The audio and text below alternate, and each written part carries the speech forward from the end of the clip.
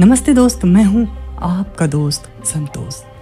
अंतरिक्ष रहस्य का एक ऐसा सागर है, जिसके बारे में कितना भी जान ले, बहुत ही कम लगता है। इसके पिछले वीडियो में इसी अंतरिक्ष में स्थित इंटरनेशनल स्पेस स्टेशन के बारे में आपको बताया था कि इंटरनेशनल स्पेस स्टेशन एक ऐसा घर है, जो कि धरती से महज चार हज़ार किलोमीटर दूर अंतरिक्ष में तैर रही है। जिसमें कि हमारी पृथ्वी का ही कुछ सदस्य उस पर निवास भी करते हैं। इसका साइज़ एक क्रिकेट ग्राउंड जितना बड़ा है, जिसके कारण हम इसे बिना किसी उपकरण के खिड़की या गली मैदान या फिर अपने घर की छत से बड़ी आसानी से देख सकते हैं। अगर आप इंडिया में रहते हैं तो आपके लिए इसे देखना और भी आसान हो जाएगा, क्योंकि यह इंडिया के ऊपर से हर रोज़ गुजरते हैं। अगर आप बचपन में रात के आसमान में इस प्रकार की चमकती हुई लाइट ढूंढा करते थे तो मैं दावे के साथ कह सकता हूँ कि आप इंटरनेशनल स्पेस स्टेशन को भी ज़रूर देखे होंगे। और इस प्रकार की ब्लिंक करती हुई लाइट जो देखे थे, वह एरोप्लेन होगा या फिर हेलीकॉप्टर, क्योंकि उसके नीचे दो अलग अलग कलर की लाइट लगी होती है। और इसके अलावे रात के आसमान में बहुत तेज चलती हुई कुछ इस प्रकार की लाइट थोड़े ही सेकेंड के लिए आप ज़रूर देखे होंगे। तो वह अंतरिक्ष से आते हुए एक उल्का पिंड था, जो कि वायुमंडल में घर्षण के कारण जल जाती है और वह एक तेज लाइट उत्पन्न करती है। और इन सब के अलावे आप आसमान में इस प्रकार की चमकती हुई लाइट भी ज़रूर देखे होंगे, जो कि एक बहुत बड़े तारे की भांति एक जगह से दूसरे जगह जाते हुए ज़रूर दिखे होंगे, जिसके नीचे लाइट ब्लिंक नहीं करती होगी, क्योंकि इसके नीचे कोई बल्ब नहीं लगा होता है। और फिर भी वह आपको इसलिए दिख जाते हैं कि रात में आपके पास सूरज की रोशनी नहीं पहुँच पाती, लेकिन उस वक्त भी अंतरिक्ष में सूरज की रोशनी पहुँच रही होती है, जिसके कारण इंटरनेशनल स्पेस स्टेशन से सूरज की लाइट रिफ्लेक्ट होकर आपकी आँखों तक पहुँचती है और आप उसे रात में भी देख पाते हैं। अगर ऐसा लाइट आप देखे हैं तो निश्चित है कि आप कोई सैटेलाइट या फिर इंटरनेशनल स्पेस स्टेशन ज़रूर देखे होंगे, पर आपने उस पर गौर नहीं किया, क्योंकि आपको मालूम ही नहीं था। अगर आपने उसे देखा था तो हमें कमेंट बॉक्स में ज़रूर बताइएगा।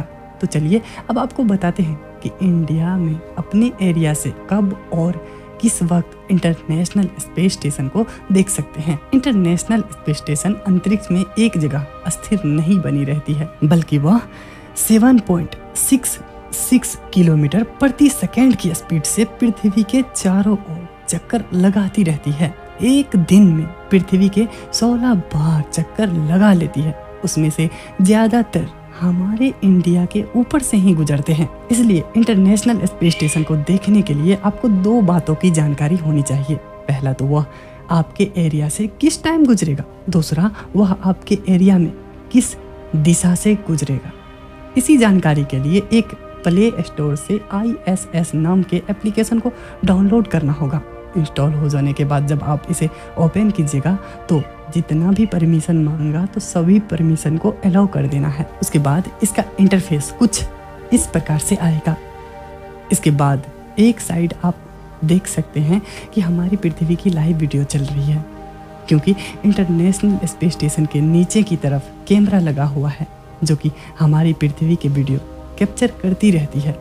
और हमारी पृथ्वी असल में इंटरनेशनल स्पेस स्टेशन से कुछ इस प्रकार की दिखती है। इसके थ्री लाइन पर क्लिक करके आप दूसरे एंगल के कैमरा को सिलेक्ट करके आप उसे भी देख सकते हैं। अब इसे देखकर इंटरनेशनल स्पेस स्टेशन के लोकेशन का अंदाज़ा आपको नहीं लगाना है। इसके दूसरे साइड आप देख सकते हैं कि हमारी पूरी पृथ्वी का मैप दिया हुआ है। इस मैप में कहाँ दिन है और कहाँ रात है, इस सैडो से दर्शाए गए हैं, जिसमें इंटरनेशनल स्पेस स्टेशन किस लोकेशन पर है और किस राज्य से गुजर रहे हैं। वह भी आप इस लाइन की मदद से देख सकते हैं। इस मैप में देखकर आप लाइव वीडियो को भी देख सकते हैं कि किस स्थान की लाइव वीडियो प्ले हो रही है। अब इस मैप में देखकर भी इंटरनेशनल स्पेस स्टेशन को ढूंढना आपके लिए मुश्किल हो जाएगा। इसलिए मैप के ऊपर कुछ ऑप्शन भी नज़र आ रहे होंगे। अब अपने एरिया से आईएसएस को देखने के लिए इस सर्कल वाले ऑप्शन पर क्लिक करना होगा। उसके बाद अपने एरिया को सेलेक्ट करने के लिए लोकेशन को इनेबल करना पड़ेगा।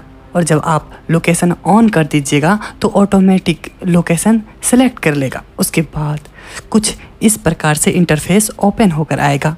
और इस लोकेशन वाले आइकन पर क्लिक करके आप देख सकते हैं कि आपका कौन सा एरिया सेलेक्ट हुआ है। इस सर्च बॉक्स में जिप कोड या पिन कोड डालकर इसे आप मैनुअली तरीका से भी सेलेक्ट कर सकते हैं। उसके बाद आप देख सकते हैं आई एस एस कौन सी तारीख को?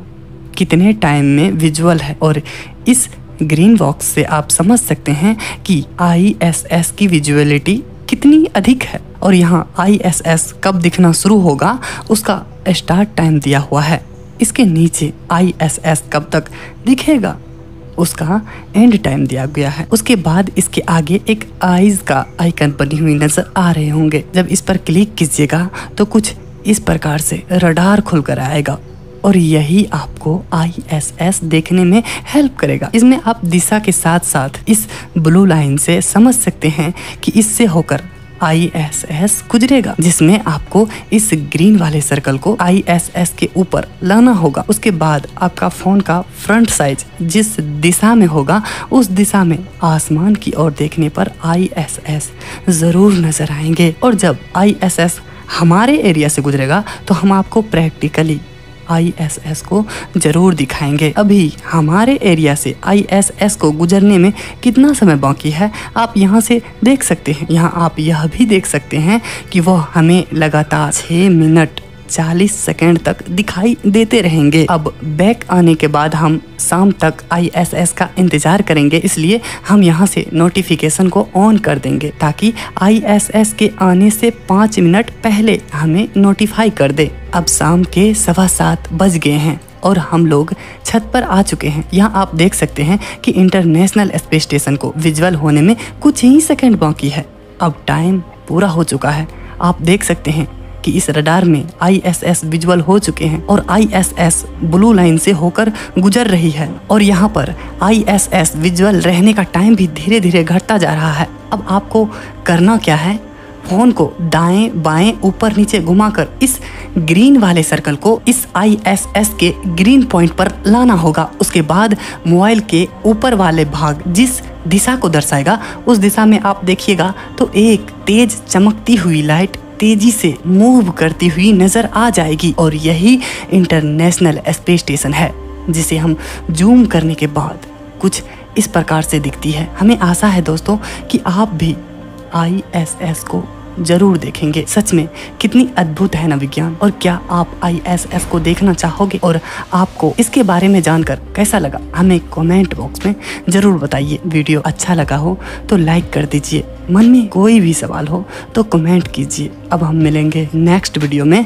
तब तक आप अपना ध्यान रखिए और ऐसे ही ज्ञान विज्ञान से संबंधित वीडियो के लिए अपने इस चैनल को ज़रूर सब्सक्राइब कर लीजिए। वीडियो पूरा देखने के लिए आपका बहुत बहुत धन्यवाद।